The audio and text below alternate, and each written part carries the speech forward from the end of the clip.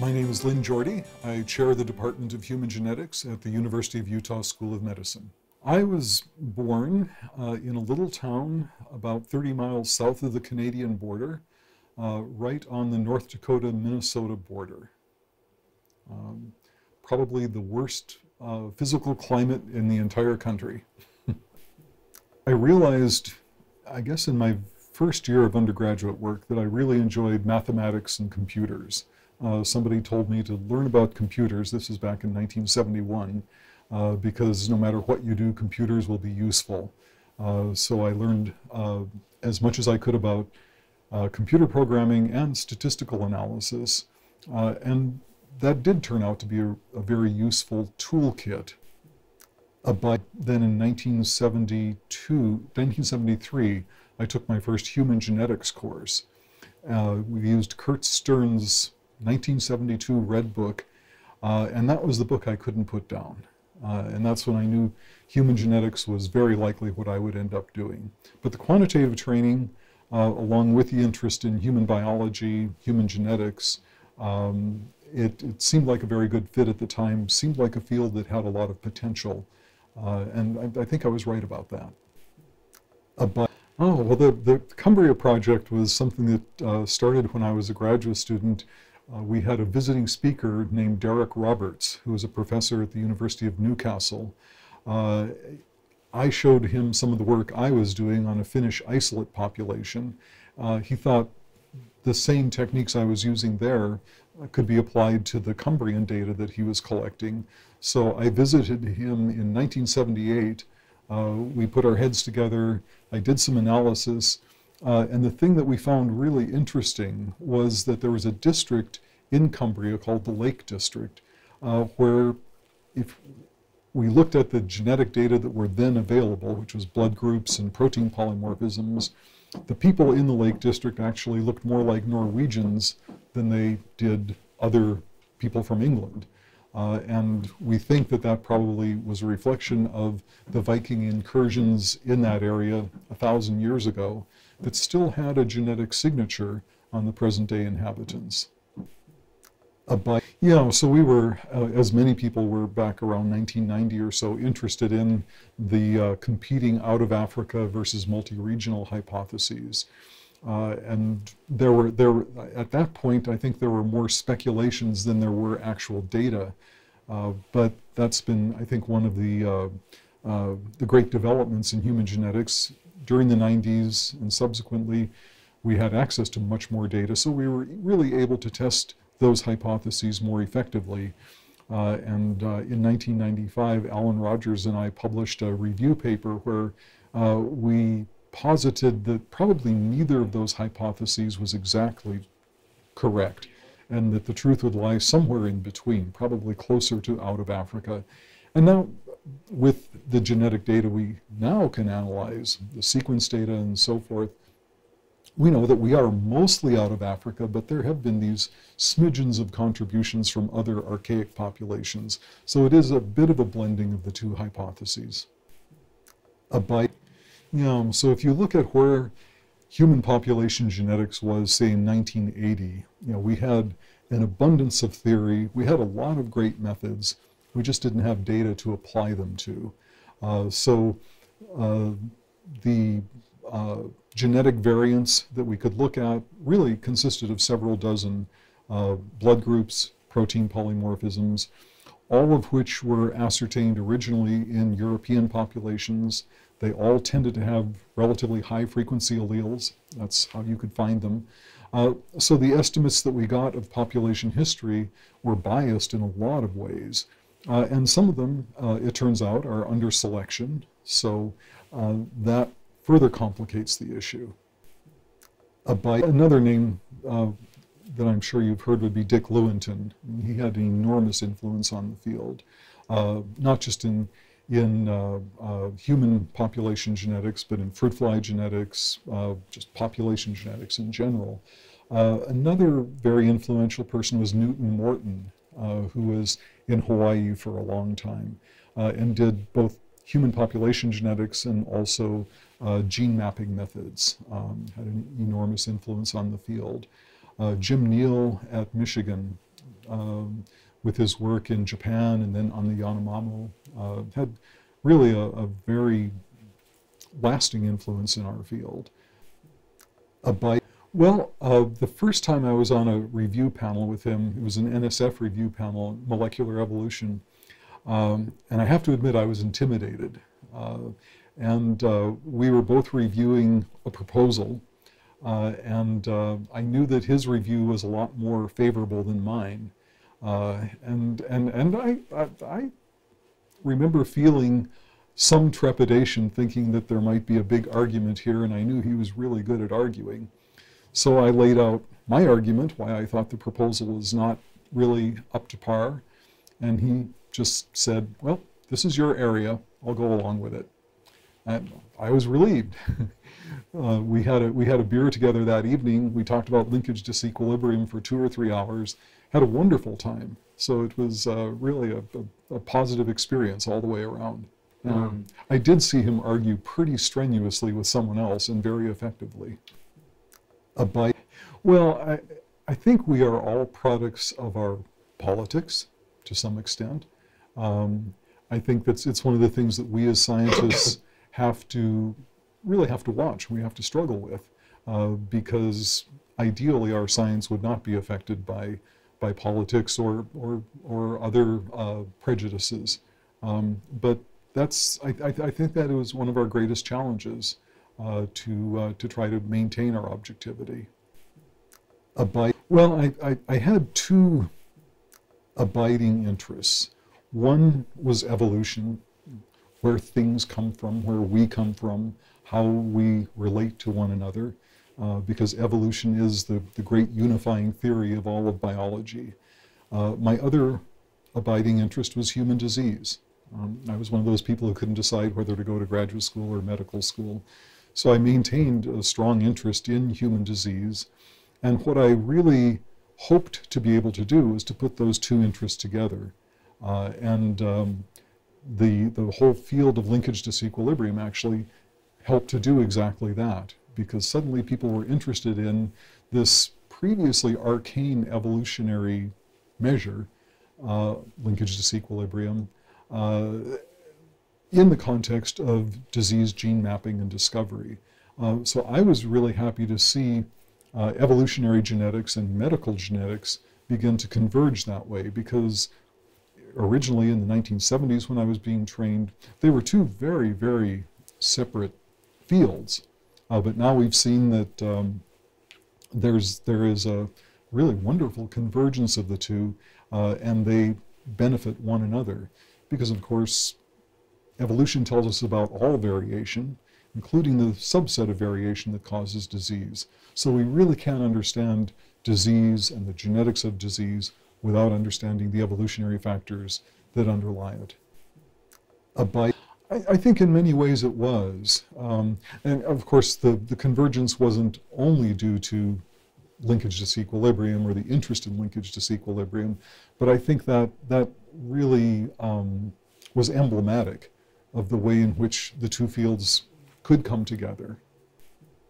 A bite there's always been some interplay between medical genetics and population genetics for uh, for a lot of good reasons. And there there are uh, systems like the HLA system where uh, um, there is substantial medical significance, but also to understand the variation at HLA, we have to understand the process of natural selection, of diversifying selection. So there, there was a, I think there were some common interests.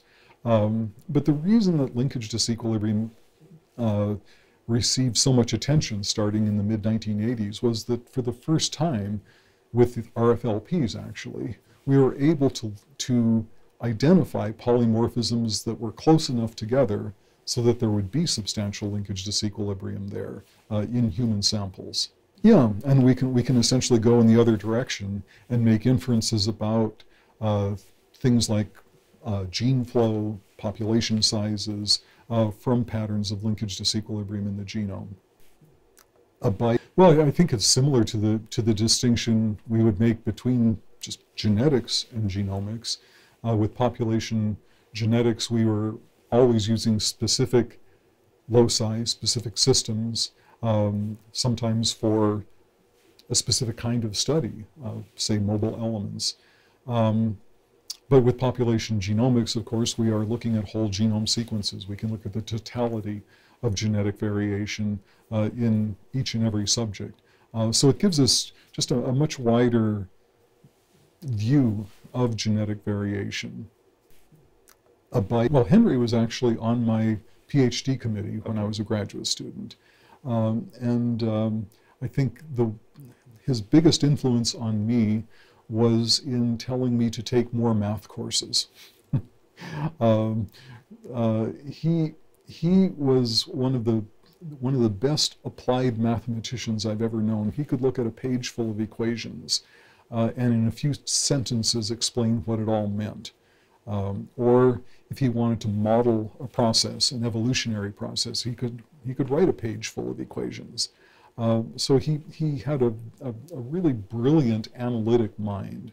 Um, and he urged his students uh, to try to learn as much uh, about analytic methods as possible. So he, he did, uh, early in my career, have a substantial influence. Much of his field work involved collecting blood samples um, uh, and using, again at the time, uh, blood groups, protein polymorphisms to look at genetic variation in southern African populations. And at that time, very little was known about uh, the origins or affinities of those populations. Uh, and some of the methods that he applied were groundbreaking at that time. Um, so uh, he, and he realized that uh, a lot could be learned about uh, the, the ancient history of those populations potential migration patterns of Bantu speaking versus other Africans and, and, and so forth. Um, so in, in that way, I think he had a, a, substantial influence on the field as early as 1970 or so. I was fortunate in having several people on my committee that um, uh, were, were excellent scientists. Uh, Jim Spuhler, uh, who had been at the University of Michigan for more than 20 years, and then came to New Mexico, um, I think uh, sometime in the, in the 60s or 70s, uh, was on my committee. He had uh, a tremendous breadth and depth of understanding of genetics, of evolution. Um, so he, he added a lot of uh, real, I think, intellectual weight uh, to my committee. And a, a, third member of my committee was a man named Peter Workman, who was trained in plant genetics at Davis uh, and then became interested in humans. Uh, he was he became interested in Finnish isolate populations. Uh, so uh, one of the reasons I chose to do my graduate work at New Mexico was that Peter had access to the, these wonderful, at the time, genetic data uh, from Finnish populations uh, that had high frequencies, for example, of von Willebrand disease, and also several recessive conditions. And we were interested in how genetic drift and founder effect may have contributed to that. Uh, and he had uh, a, a, great data set. Uh, I had quantitative skills, uh, so that's that, bringing those two together was was uh, actually a great uh, a great opportunity for me. A bite. I mean, anthropology subsumes so many subdisciplines, um, and and I what I was attracted to was really the evolutionary genetics part. Uh, I, I, have to confess I know very little about cultural anthropology or linguistics. Uh, I tried to be an archaeologist for one summer. Uh, by the end of the summer, I knew I didn't want to be an archaeologist. Uh, so, uh, what attracted me uh, was was really the the evolutionary genetics um, focus of some anthropologists, and that uh, that's where uh, people like the, uh, my committee members focused. and, and that's where I thought there was fertile ground, not just for pursuing evolutionary studies, but then applying that uh, to human phenotypes, including disease phenotypes, because that, that was something I was always really interested in. Um, I had colleagues who could do theoretical population genetics um, all day long. Uh, and I could do that, but to me it was a little bit sterile. Uh, the mathematics is beautiful, but at the end of the day, I, I, I want to be able to apply it to something that's real. there are a lot of different kinds of factors that can influence or bring about genetic diversity. Uh, usually we think in terms of geographic factors. They isolate populations or they promote gene flow. Um, but there can be social factors uh, that influence mating patterns. Uh, and in the um, early 1990s, uh, Mike Bamshad uh, came to do his pediatrics residency uh, in, uh, at, at our School of Medicine. Uh, he had brought some uh, DNA samples from India uh, to do mitochondrial DNA analysis on. and he asked to have some space in my lab. Uh, so he was doing lab work while he was doing his residency. Um, and that got me interested in uh, genetic variation in India. I hadn't worked in that area at all before. Uh, and as I learned more about the so-called caste system, um, I realized that this was another mechanism that influences mating patterns in uh, up to a sixth of the world's population. Um, and I think Theodosius Dobzhansky described it as one of the greatest, if, un, if unintentional, experiments uh, in human genetics ever carried out, where people um, did mate according to a prescribed system. So we were curious to know what effects that system might have on genetic variation, if any. Um, we thought it was entirely possible that we would see no uh, genetic differences, but there were uh, some relatively small but detectable uh, genetic differences among the different caste groups uh, that, that uh, we had collected. Um, and furthermore, we could see that different caste groups had greater or lesser affinities to other populations, uh, reference populations that we compared them to. Um, and I think probably our understanding of Indian history wasn't as good as it could have been or should have been. Uh, but I think that uh, the, the patterns that we did see uh, in at least that sample uh, might reflect greater common ancestry among some caste groups with, um, with uh, Central or Western Eurasian populations, greater common ancestry with um, other populations for other caste groups. and the work that we published in the early 2000s was largely confirmed by the uh, much larger study that David Reich published in 2009, where he saw uh, differences between a, what he called a, a, northern and southern Indian component. Uh, so I think the work um, that we did on a relatively small sample, although it was several hundred people, uh, has has been largely um, uh, substantiated by subsequent work. One of the things we saw was that there is greater differentiation for Y chromosome polymorphisms, uh, which are entirely male transmitted and inherited, uh, than for mitochondrial polymorphisms. Uh, and one of the what that appears to reflect is that women uh, can move in the caste system more easily than men can. So you would you would predict that there should be greater differentiation for Y chromosomes uh, and that's one of the things that we saw. Certainly, uh, our studies of genetic variation can inform us about, about population history uh, because every major event that has occurred in the history of a population, uh, gene flow, a bottleneck, and expansion, leaves its mark on our genome. Uh, so when we have a collection of genomes now from a present day population, uh, if we're clever enough, we can make some, I think, good inferences that have historical relevance. But I think it's also important for people who are doing genetics uh, to learn as much as they can about written history, about the archaeological record, the fossil record. I think sometimes we're not as, as uh, conscientious about that as we could be we were aware that the, uh, the caste system uh, is, is, is a sensitive issue and in fact technically had been outlawed uh, but still existed.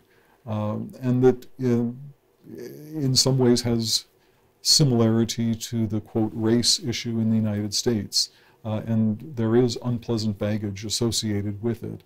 Um, we tried to be very careful uh, to specify that our work was simply looking at the consequences of a process of social differentiation. Um, it was interesting uh, and, and, a little bit disheartening to us to see some uh, popular articles in the Indian press that kind of turned it around and said your genes determine your caste, which of course we we didn't say, didn't mean, didn't intend, uh, um, and would completely disagree with. Uh, but I think this is something that does happen in genetics research. Uh, sometimes our results are misinterpreted no matter how careful we try to be, both in, in our scientific publications and in explaining things to the lay public. Well, I think sometimes we, we have to try to anticipate um, what the public may perceive uh, from, from a statement we make, um, which means being doubly careful not to sort of take them down the path uh, to an inference that we would never intend, uh, especially with things um, like race or ancestry. Uh, because uh, science is often misinterpreted. Uh, and um, I think sometimes we can head that off just with careful language. Um, I think we have to be as true to the data as we can be. I think we have to be as, as um, accurate as we can be. But in our interpretation, we, we especially with uh, issues like race, which, which can have truly harmful consequences for people, um, we, we just need to exercise extreme caution. You know, with each new tool, one of the things that we want to do is to, to validate it by, comparison, by comparing uh, the results from that tool with what we've seen before. Um, with mitochondrial data, one of the things that uh, was reassuring was that the patterns we saw with mitochondrial polymorphisms largely replicated what we had seen with other kinds of markers, uh, autosomal markers, um, but they gave us um, a different kind of picture, especially of, of uh, the uh, maternal lineage, and they actually allowed us uh, to make inferences about dates, for example, of the uh, common mitochondrial ancestor of humans, uh, out of Africa events, and so forth. But I think uh, comparison with not just other genetic tools, but um, especially in population genetics, population history, um, really evaluating the other kinds of evidence uh, for history um, can, can, can um, help us to make the best use of those, of the, of the, new, the uh, new tools as they come along. Until really just the last few years, um, there was a a huge class of variation we just really couldn't look at, uh, and that was rare variation. Um, the variants that have arisen in the last 5, 10, 15,000 years, um, we could look at subsets, we could look at samples of, of that variation, but with whole genome sequencing, we can, we can literally look at it all. Um, that gives us a much better um, window into uh, things like population bottlenecks, expansions, and so forth, because rare alleles are very sensitive to those events. Uh, they give us um, really uh, exquisite signatures of those kinds of events. So um, we have a, a, degree of resolution that simply wasn't possible before. Well, I think the real bottleneck now is more in the uh, computational sphere. Um, we you know, we're amassing sequences now by the hundreds of thousands, by the millions.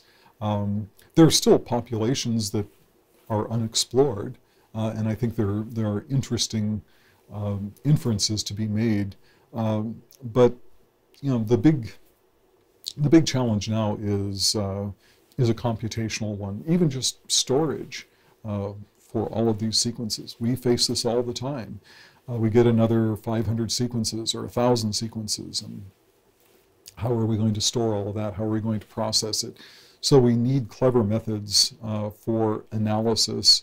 Um, I I, there's no question that that's, that's where I think most of the real uh, intellectual firepower is going to be focused.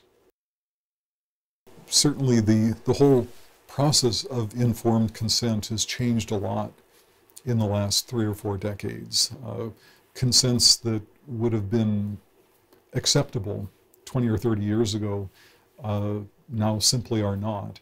Uh, and, and, and I think in general, uh, although it, it does impose more burdens on the investigators, uh, it does help to, to protect uh, people participating in the studies to make sure that they do know how the data are being used or will be used.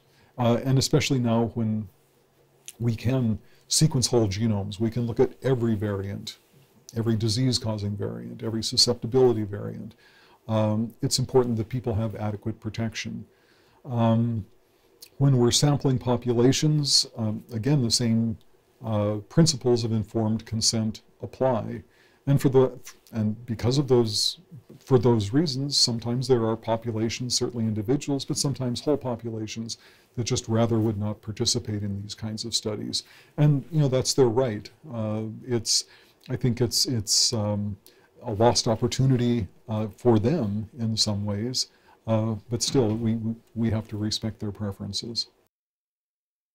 The two projects had very different sampling frames. Um, so the Human Genome Diversity Project or Human Genetic Diversity Project um, uh, really focused on uh, very specific populations, uh, often populations of specific anthropological or historical interest, uh, sometimes populations that were really in danger of extinction. Uh, and um, part of the part of the rationale was that these populations may soon be gone. We should know about as, as much about them as we can while we can, which scientifically makes some sense, but uh, it was interpreted by some as saying, well, the real concern is just getting the DNA. Uh, and that, I don't think that was the intent of uh, Cavalli or any of the investigators involved in the HGDP, but that was an interpretation. Uh, and I think that worked against that project. Uh, the HapMap project very differently uh, sampled um, large essentially cosmopolitan populations. Um, in the early discussions I was involved with in planning HapMap, at one point, uh, some, uh, some of the planners advocated no population labeling uh, of the HapMap samples. The population geneticists um, in the crowd were opposed to that because we knew that linkage disequilibrium patterns would vary among these major world populations and to not know who was who would severely compromise what we could do with the information. Uh, so the uh, ultimately it was decided, and I think I think uh, wisely, uh, to use basic labels uh, so that we knew who was from which population. Um, but I think because um, ethicists, social scientists, physicians, geneticists were all involved in the planning of HapMap. And those meetings involved hundreds of people. Uh, I think there was a greater sensitivity uh, to how the data uh, could be misinterpreted. Uh, so a lot of the objections that arose with HGDP uh, were kind of mitigated just by the way the HapMap project was planned. Uh, and it had the advantage of being planned later and having seen some of the um, concerns that arose with earlier projects uh, because of just a, a, maybe a little bit of lack of awareness of how things might be interpreted. I think HapMap was able to pretty much avoid that. I guess fitness is one of those examples of a term that's used in genetics and in population genetics uh, in a very specific way. It can be measured uh, numerically. Uh, but in the general population, I think in the lay population, when you hear a term like fitness, uh, it has a, a, a, qualitative implication uh, that some people are indeed more uh, physically or even cognitively fit than others. And really, in genetics, fitness simply re refers to um, how many offspring you produce. Um, and that uh, variation in that can be due to all sorts of different factors. So that, that's a, it's a great example of a term that we use with a very specific meaning that can be grossly misinterpreted by the lay public. The HapMap did have the very specific purpose of uh, essentially uh, informing our linkage disequilibrium studies to really help design the most effective genome-wide association studies. Now, the, the, data have been used in a lot of different ways, um, um, uh, but the, the real intent of the project, what the money was buying, was actually quite specific. Prior to the HapMap, um, our, our, our knowledge of disequilibrium patterns throughout the genome was, was um, uh, very, very limited. Um, I've sometimes compared it to a map of the world in, say, 1500. Um, we just didn't know a lot about many regions of the world, just like uh, we didn't know a lot about many regions of the genome or uh, genomic variation among the populations. So the HapMap really changed that. Um, it turned out to be absolutely essential in designing effective microarrays. Uh, I think you could uh, estimate that it saved hundreds of millions of dollars in what would have been unnecessary genotyping. Uh, so uh, personally, I, I, I, view the HapMap as a very wise investment uh, that helped us to economize many, many hundreds of thousands of genotyping assays after that. One could always quibble about which populations are chosen for analysis, and to some extent, it's always a matter of what is doable and uh, what's what's um, in some cases convenient, what's available.